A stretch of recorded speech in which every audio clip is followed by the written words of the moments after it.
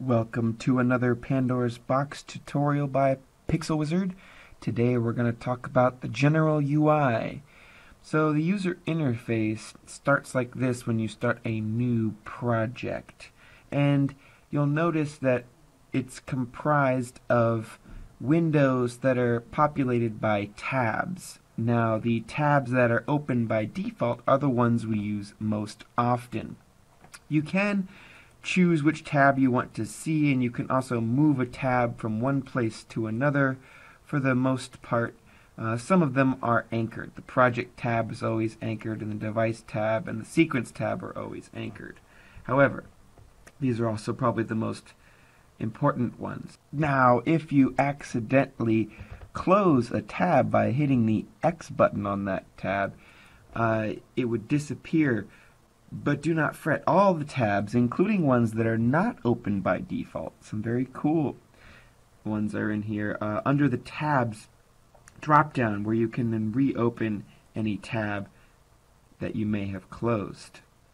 So some of the most important tabs, the project tab holds all your assets, the asset tab browses all the computers running Pandora's box.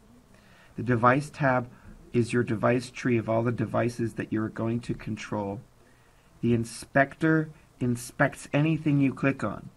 And it gives you basically properties and options for whatever you click on. Live by the inspector. The sequence tab is going to hold your timeline. Obviously the device controls are going to hold all your parameters for your different devices.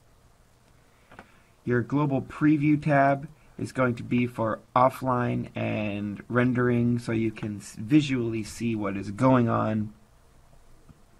And then, of course, another one that's there uh, that you should know about is, of course, the configuration tab, which holds all sorts of great defaults and um, configurations and how to work with ASIO, uh, for example, how to work with remote control protocols. So dive into that configuration tab and, and become familiar with that. Uh, also, thumbnails is, of course, a good one uh, so we can just browse our stock 3D primitives.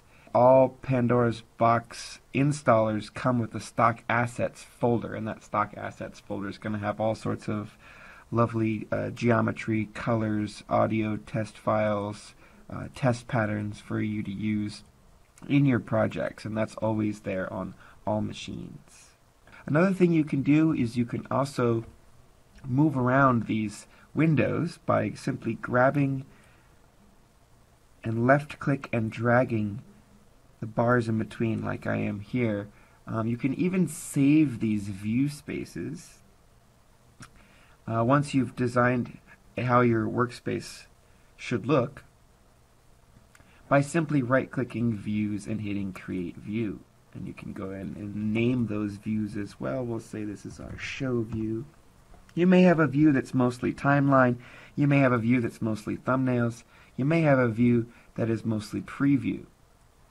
So for example, in here, if we activate our toggle preview and we put a piece of content up on a layer, probably one of my favorite tabs that I recommend using in every show environment is the device viewer because it really shows you what's happening on all the layers. As you can see, you can see different clips on different layers here. Um, it's just a great overview of what the server is doing. It depends on which device you have selected, as you can see here. This is a great tab. Now, if you start running out of space, you can see how a high resolution uh, manager or master monitor would be very important. Now what you can do is you can divide up these views by inserting panes. You can right click any mullion here and say insert pane and then you can drag tabs around to make this look any which way you want. I really like this. You can even divide tabs here. Split pane vertically, keep tabs left. So this might be a a typical view here. One of the cool things about the effects tab is the documentation that's built into it now. So if you look at any effect, you'll actually see uh, what that effect does, some thumbnails, and what each fader does as well. So we really like the Aeon Effects tab for all the information it gives you as you're working creatively. So I'll store this view, right click views, hit create view, store this one as even better view. Now you can bounce from views of course just by double clicking as you can see this is our first view and if we want to update it a little bit we can make a change and right click and say save current and that will update that view.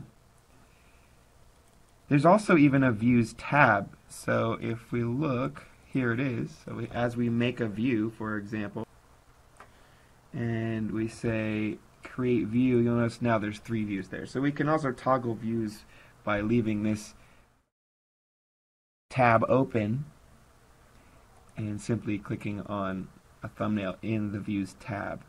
You can even take a tab and perform a breakout pane. So if you right click any tab, you can say breakout pane and that's going to separate that tab, or I should say window with all the tabs inside, into its own breakout pane.